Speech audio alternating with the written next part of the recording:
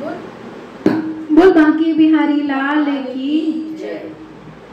मैं कि वे वृंदावन